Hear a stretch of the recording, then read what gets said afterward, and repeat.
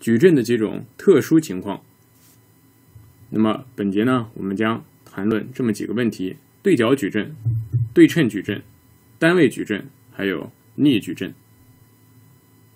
我们呢，首先对前面的这个关于矩阵的运算，尤其是矩阵的乘法相关的内容啊，来做一个巩固的练习。好，那么已知有 A 矩阵啊等于一二三四，矩阵 B 等于一零零零。还有一个矩阵 C 等于零零五六。好，那么两个问题，第一个呢，求 AB 加 AC；第二个问题呢，是求 A 乘以 B 加上 C。有一个括号啊，注意这个运算的优先级。第二个问题里面呢，我们要先算的是这个 B 加上 C。好，那么矩阵呢都是比较规整的二乘二小矩阵，数字呢也不是。这个非常的难算，对吧？我们就作为一个回顾啊，把这个过程呢来练习一遍。那么 a 乘以 b，首先算一二三四乘以一零零零，我们把这个乘出来的结果，我们先可以判断，对吧？先不管这个里面具体是什么数字，一个二乘二的矩阵乘一个二乘二的矩阵，结果肯定还是一个二乘二的矩阵，对吧？那么左上角，也就是第一行第一列的话，就是用第一行左矩阵的第一行乘以右矩阵的第一列，啊，结果是一。这边呢，因为第二列全都是零，所以结果的第二列当然也都是零。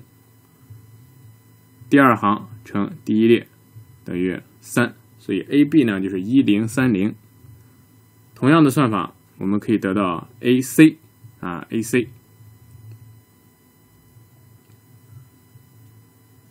一啊零二五一十，然后呢二六一十二，三四四五二十，四六二十四，非常简单的计算。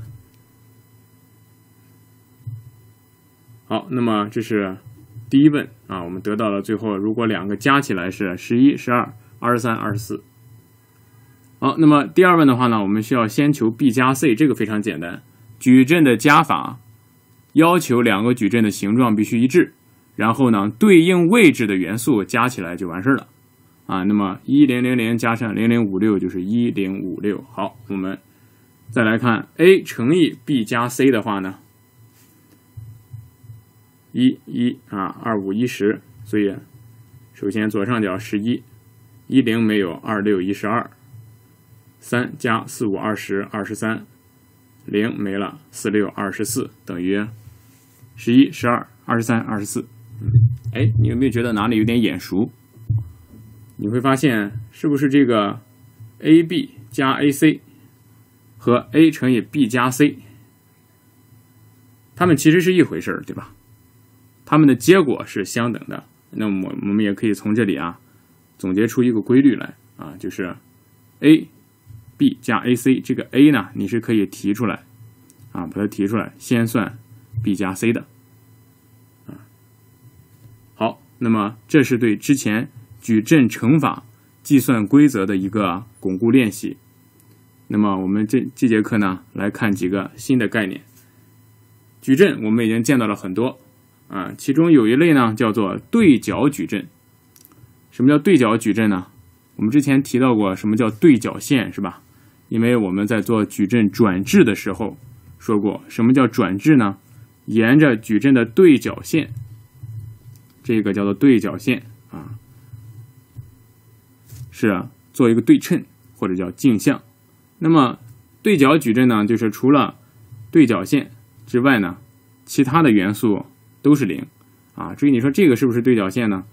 啊，这个如果你管它叫对角线的话，那么我们重点强调的这个呢，就应该叫做主对角线啊。如果我们默认情况下说的对角线，就是从左上到右下。行和列位置啊次序相等的这一条线啊，如果你说把这个也算上的话，那么这个叫做主对角线啊。大家知道我们说的是这一条线，只有这一条线上的元素呢是不为零的，其他的地方都是零。那么这种矩阵就叫做对角矩阵。对角矩阵是不是一定是方阵呢？不一定。我们来看这两个例子。一个呢是四行三列，一个呢三行四列，但是你看它们的主对角线上都不是零，主对角线上不是零，除了主对角线以外呢都是零，所以这就可以了。啊，并不一定非得是一个四四方方的方阵才有可能是这个对角矩阵，不是方阵也可以是对角矩阵。那么，如果我想在 Python 里面啊生成一个对角矩阵，有一个非常简单的方法，我们就不需要说跟之前一样，括号套括号套上两层啊，那种比较麻烦。我还要对齐了，哎，几个零呀，这种重复那么多零。我们只需要啊用 NP，就是 NumPy 这个库里面的 Diag 啊 Diag，因为它英文是 Diagonal Matrix 啊，这个对角矩阵。然后呢，你把对角线上的这一串儿。啊，这就是变成了一个一维数组，对吧？传给这个 NP diagonal 就可以了，然后你就获得了相应维度的对角矩阵。好，我们呢再来做一个练习，关于矩阵与向量相乘。这次呢，我们写的是一个对角矩阵，二四三一。有的时候呢，我们为了省事儿啊，如果这个矩阵里面元素大面积的都是零的话，我们就不写了啊。像这个地方，我们在这种空白的地方啊，我们就知道哦，这些地方都是零啊，就不写了。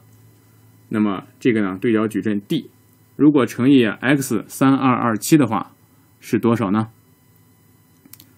这次我们要算一个，啊是不是有两个维度啊？各自有有四列，对吧？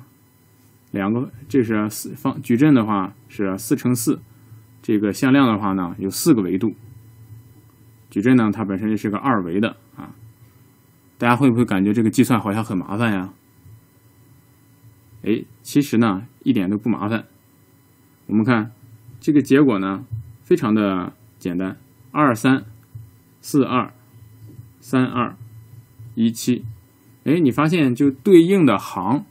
啊，在同一行上的两个值相乘就可以了。我们也可以通过这个 Python 写一个简单的程序啊，把这个对角矩阵写出来，然后呢，把这个向量写出来，然后一乘，发现结果确实是这样。啊，这是对角矩阵的一个特点。我们之前呢强调过，矩阵它的意义到底是什么？矩阵是一种映射。如果更好理解，为了更好理解的话呢，我们把它想象成是在几何上面的一种变换关系，比如有的可以把这个图形呢拉伸，把你这个向量拉伸；有的可以旋转，当然也有的可以既旋转又拉伸。那么对角矩阵，我们看它的一个特点就是每一个维度上呢只跟对应维度有关，那么实际上它就是一种只拉伸不旋转的一个操作。当然，这个拉伸不见得是成比例的。如果我们这个对角矩阵呢是二二二二啊，如果对角线上这个数都是一样的，那么很好理解，就是把一个向量呢往各个方向，一个四维的向量各个方向等比例的都放大两倍。那像这种二四三一的话，我们就看到在不同维度上缩放的比例是不太一样的啊，但它仍然是一个。拉伸的操作。那么，如果在非对角线的其他位置啊，还有一些非零元素的话，那么就不仅有拉伸，还有旋转，是这样的一个几何意义啊。希望大家能够结合这个几何图形来综合的理解。刚才说到了对角矩阵，那么和对角矩阵相关的呢，有一个叫做对称矩阵。什么叫对称矩阵呢？我们说，如果沿着这个主对角线啊，如果在位置上沿着主对角线对称的两个元素啊，它们的值也一样的话，这样的一个矩阵就叫做对称矩阵。我们看，这是对称轴，然后哎，这是第一行第二列和第二行第一列，它们位置对称，然后数值又相等。这样的话，如果整个矩阵都满足这个条件，那么这就是一个对称矩阵。我们之前啊讲到过矩阵的转置，那对称矩阵如果做一个转置的话，会得到什么结果呢？嗯，你得不到什么结果，因为一个对称的矩阵转置之后还是对称的，跟原来自己一样啊，所以是一步没有什么效果的操作啊。对称矩阵的特点是它等于它自己的转置，转置之后不变。那么我们接下来谈的这个矩阵呢，是一种特殊的形式，它非常的重要。我们可以认为它是一种特殊的对角矩阵。它特殊在哪儿呢？首先呢，这种矩阵它必须是一个方阵，就是行数还有列数是一样的啊，并且呢，只有主对角线上有不是零的元素，这是第二点，并且主对角线上的元素都相等，这是第三个条件，并且。这些主对角线上相等的元素不是随便等于一个数，都等于一。好，满足了这以上所有的条件的话，我们得到了一种矩阵，叫做单位矩阵 （identity matrix）。啊，我们看一个三维的啊三乘三的单位矩阵是这样，一一，其他地方全部都是零，全部都是零。那么这个单位矩阵。它有一个什么样的特点呢？单位矩阵与对应维度的啊，这个 n 是相应的啊，与对应维度的这个向量相乘之后呢，向量不变。哎，我们又继续要说到了，矩阵是一种映射，矩阵乘以一个向量是做了一种映射的变换，啊，就相当于在空间里面变形啊，但是。单位矩阵来讲，它映射到了什么呢？映射到了它自己啊，等于就是什么都没变，就好像我们在这个代数上，某个数乘以一，还是它自己啊，所以都是单位。在线性空间里面，单位矩阵就是一个这种最基本的一种单位元啊，任意向量与单位矩阵相乘呢，都不会改变。体现在空间上就是什么都不动啊，什么也没有发生。如果要在 Python 里面呢生成啊，得到一个单位矩阵，有一个特别的函数叫做 i，啊 i 应该是取了一个谐音，那个 identity 啊，np numpy 点 i，后面你给的是它的这个维数啊，三的话就是三乘三的单位矩阵，五的话就是五乘五的单位矩阵。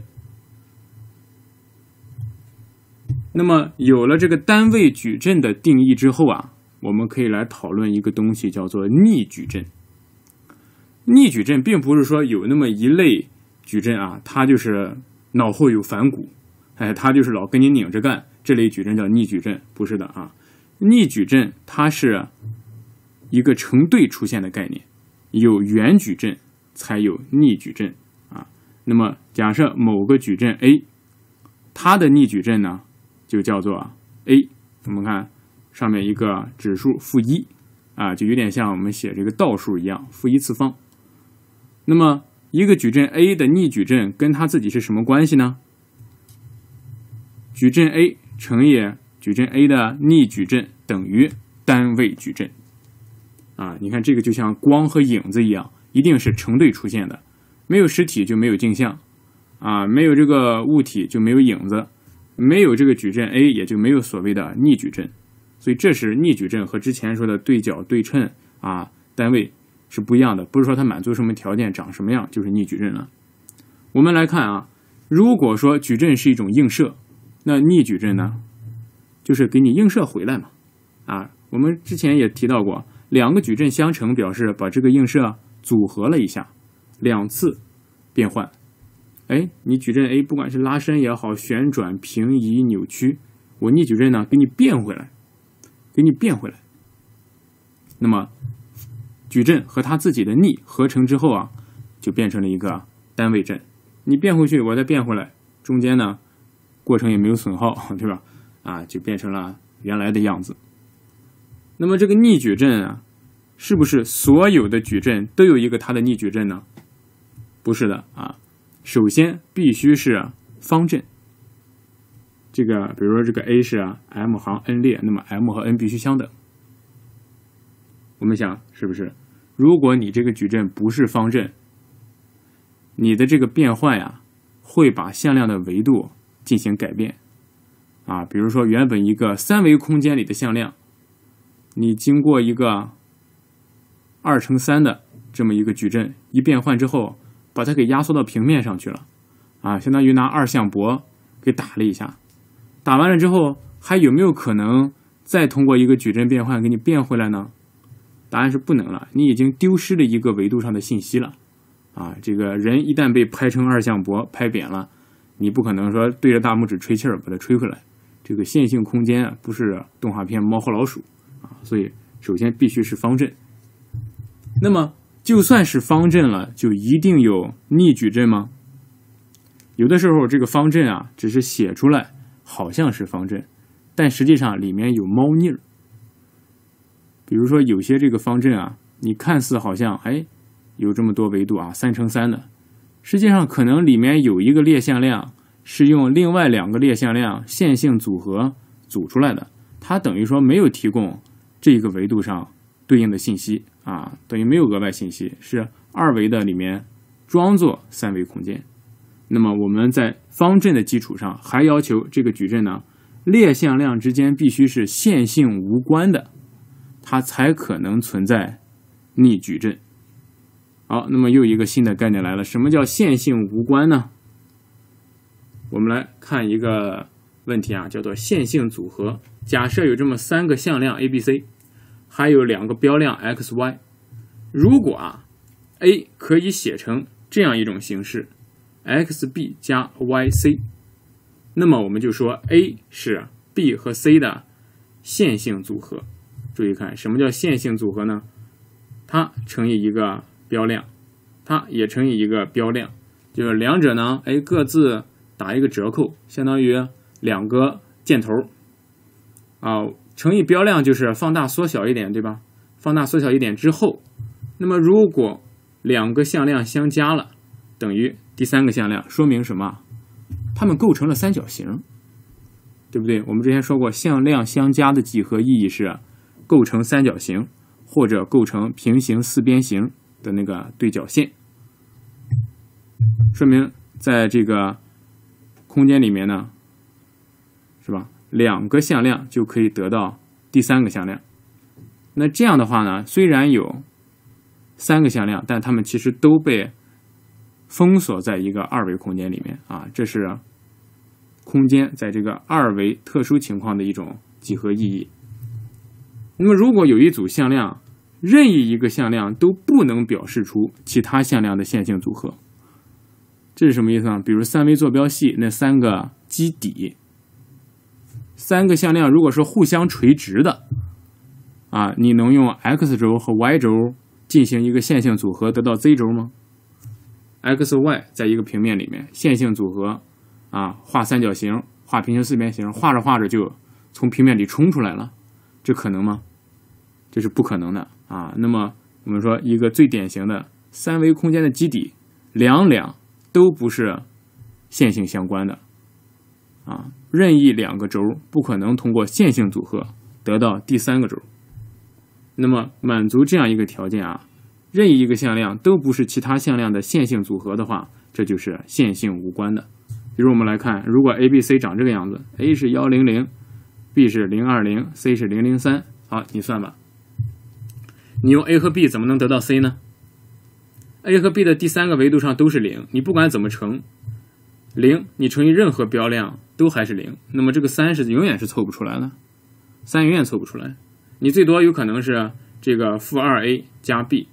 啊，怎么乘乘乘乘乘，乘完了之后，哎，它是上面顺着前两个维度可能是一样的，但是第三个维度你怎么整也整不出这个比例，对吧？那反过来也是一样，b 和 c 怎么组合能够组合出 a 呢？第一个维度都是零，怎么也组合不出来。那么这就是线性无关。一个矩阵如果想要拥有逆矩阵的话，它必须满足一个条件，就是自己的各列的向量是线性无关的。我们来看一个小例子啊，比如说 a 和 b 这样两个向量，它们俩是不是线性相关呢？我们把情况变简单了啊，现在都是两个二维的啊，就相当于平面上的像这个箭头，平面上的矢量，是不是线性相关呢？我能不能通过 a 得到 b 呢？能不能或者能不能通过 b 得到 a 呢？我们这两个数字应该大家的敏感度还是足够去发现的哈。我们发现这个 b 是不是就是 a 乘以个三呀？因为你看一二各乘三的话，一三得三，二三得六，就得到了 b。实际上 b 是 a 的一个平行延长，是平行延长。那两条平行线自然是通过线性计算就可以相互转化的，所以它们是。线性相关的。好，那么现在我如果问大家，一个矩阵 a 和 b 两个列作为列向量拼成一个矩阵是一三二六，这个矩阵有逆矩阵吗？可能会有逆矩阵吗？答案是不能，对吧？就这个概念大家一定要记住啊！如果一个矩阵是由一二和三六构成的，那么这个矩阵呢就叫做奇异矩阵啊，因为它自己的这个。列向量之间呢会线性相关。好，我们来做一个求逆矩阵的练习。这个逆这个矩阵呢是我们的老熟人了。呃，刚才是不是求过它跟一个向量相乘这个练习题？还是这个对角阵 D 等于二四三幺？好，大家来算一算它的逆矩阵是什么？我们可以不动笔啊，我们可以先从几何意义上来想。二四三幺，我们刚才说到过，就是把一个向量往各个方向上呢做拉伸。当然比例不相等，有的维度上拉伸了两倍长，有的拉伸了四倍，有的拉了三倍。那一的话就是不变，对吧？保持这个维度不变。那么现在好，我想把这个变换给它变回去。啊，我想逆矩阵嘛，做一个逆映射，我给它变回原来的这个向量，我该怎么办呢？那是不是原来拉长了两倍的，我给它缩短两倍就行了？缩短两倍什么意思呢？乘以二分之一。那原来拉长了四倍的，我乘以四分之一，三倍的三分之一。啊，也就是说，我可以不用计算，我不用真的去算，我就通过几何意义。我们就思考出来了啊，来验证一下，看是不是通过 NumPy 里面的这个 Linear Algebra 线性代数的组件，然后呢，对这个矩阵呢求一个逆。你发现零点五、零点二五、零点三三三循环一，恰好就是这个主对角线上的各个元素的倒数啊，就是它各个元素的倒数。那么我们就可以得到一个结论啊，对角矩阵 D 如果这个样子，那它的逆就是。相应的对角元素的倒数啊，这对角矩阵就是把情况变简单了。它的这个变换单纯的就是拉伸啊，也不旋转也不扭曲啊，这是比较好哈，比较省事儿。问题来了啊，如果我们现在要求的一个东西它不是对角矩阵怎么办呢？啊，如果是随便一个矩阵啊，当然前提是它得满足存在逆矩阵的条件啊，它得是个方阵。而且呢，它不能是线性相关的。刚才我们看到过，如果一二三六的话，你就不用求了啊。这个方阵是个奇异矩阵，它没有逆矩阵。现在呢，我们换成一二三七，三七有没有可能通过一二单纯的乘变量给乘出来呢？是不可能的。好，那我们想，如果要求这个矩阵的逆，怎么求啊？我们介绍一种方法，叫做高斯消元。怎么来消呢？首先啊，我们把这个矩阵写成这样一种形式。我们看，左边是我们要求逆的这个矩阵本体，右边呢，我写上一个对应维度的单位阵，在这里呢，就是一个一一啊，就是两个一。好，我们现在呢，想达到一个什么目的呢？我们想通过啊，这个每一行的消元，就像我们求解这个线性方程组一样。通过消元呢，把左边变成这个一一，把把这个分隔线左边呢变成一个单位矩阵。我们来试一试，看怎么做啊？首先，如果要把它变成单位矩阵的话，这个二是不是得消掉呀？二怎么消呢？用这一行，注意，包括后面这两个啊，用这一行减去两倍的上面一行，对吧？那二减去一个二，不就成零了吗？这样，二七零一减去两倍的一三一零，那二减二得零，七减二三得六，就得一。零减二啊，还有这个一减去零，这个就最后一位就没动就不变了啊。这个零减去二是负二，于是我们把刚才的这个扩充之后的矩阵就变成了这个样子。你看一三一零上面那个线不变啊，下面这个哎正好零一已经有了一个单位矩阵的雏形了，还不错是吧？七减二三得六，注意这个是怎么算的啊？等于一。零减二负二，一减零还是一。好，那么左边这个仍然还不是一个单位矩阵，它差在哪儿呢？差在第一行第二列这个位置，右上它的右上角，对吧？这个三，这个三要怎么变成个零呢？还是消元啊？还是消元？跟通过下面这个来，下面这里有个一对吧？可以用上，把下面这一个乘一个三倍，于是就变成了三负六三，然后一减。把三就给消掉了，好，减去三倍的零一负二一，三减三零一减去三倍的负二是多少？等于一加了个六，这儿就变成七了，啊，零减三是负三，好，于是我们经过两次的线性变换之后呢，成了这个样子，哎，左边成了一个单位矩阵。右边呢，七负三负二一，我们看跟原来这个长得有点像，对吧？长得还挺像啊，但有些符号变了。那我们来验证一下吧，看看这个方法求出来的到底是不是一个它的逆矩阵。我们看一三二七啊，求个逆，七负三负二一，这个是程序告诉我们结果是一样的啊。当然，如果你还是不确定的话呢？你可以再手动的算一下，啊，一乘三，啊，七负二，算一下七减六等于一对吧？你把它，你把这个矩阵和自己相乘，顺着计算出来，看得到的结果是不是一个单位矩阵啊？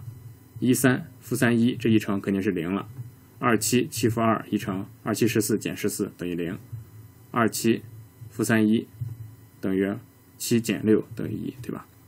很快你就可以验证这个答案是对的啊！那么这就是用高斯消元的方法来求矩阵的逆。